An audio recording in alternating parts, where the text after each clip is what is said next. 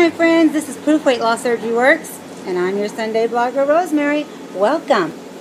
Okay, today's question How do you define success, and what are some of your key factors that have led and continue to lead to your success? Well, what is success? An accomplishment. I have accomplished in 10 years uh, to be healthy.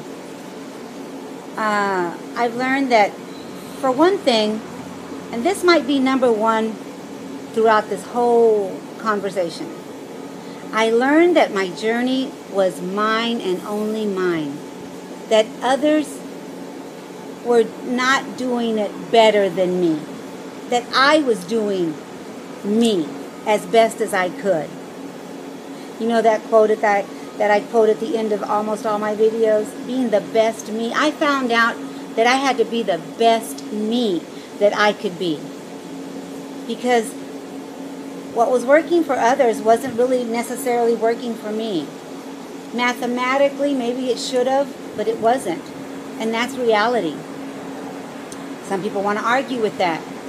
You know, that's not true. It's got to work for you if it worked for me. Well, I'm not going to sit here and argue with anybody. I'm just going to be the best me that I can be. And I think that has helped me to be the success that I am. I even doubted success at one time. Am I successful? Uh, someone on Facebook put yesterday that they, you know, people have conversations about us in the background sometimes. You know, your friends will get together and You'll find out later through another friend that your friends are talking about you and saying, "Wow, she should have lost more. She should be skinny by now." I've I've had that all, all my journey, you know, or or it's vice versa. Man, I'm so proud of her. She successfully has kept it off and has stayed healthy because for the most part, people wanted to see me healthy people wanted me to live a long life. Uh, a quality of life is what I call it. It's been a it's been a wonderful, successful quality of life. Uh, I wrote a few things down. Stopping the hating, I was not good enough. I wasn't good enough because I wasn't doing it your way or her way or his way. um, that just became ridiculous after a while. Uh, for me, it was more than just what they did to my stomach. I needed to balance it out with my mind and my soul.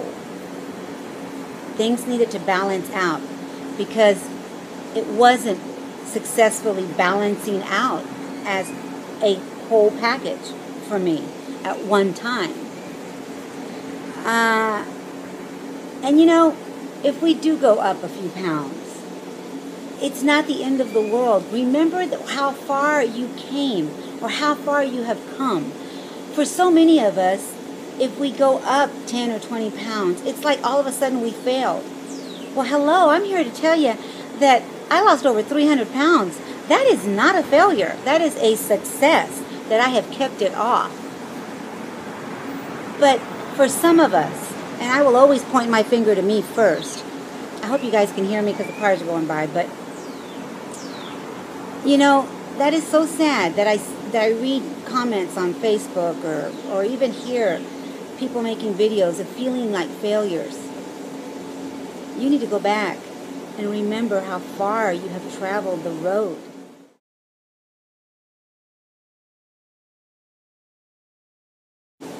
Don't care if it's only been 20 pounds. You traveled those 20 pound road.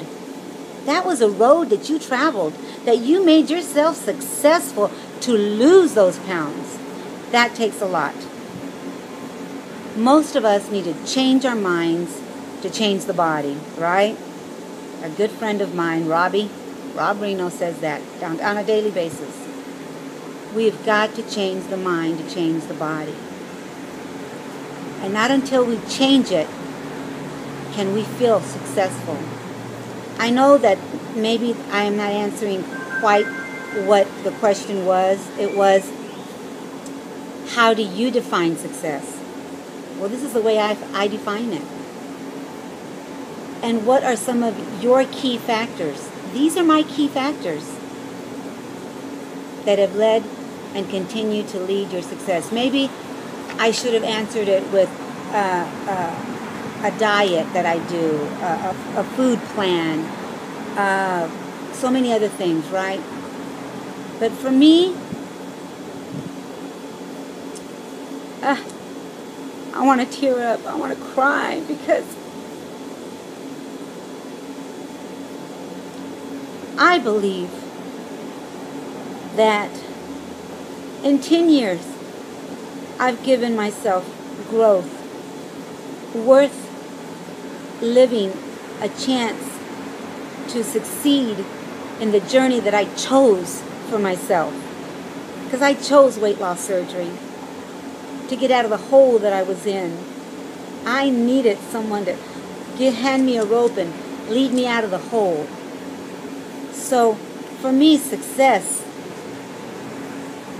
number one, is that I've learned that my journey was mine and only mine. And that doing it the best that I can is what's going to get me even to a further success. I love you guys. Make it a wonderful day. And uh, go out and be the best you that you know how to be. And I'll see you when I see you. Bye.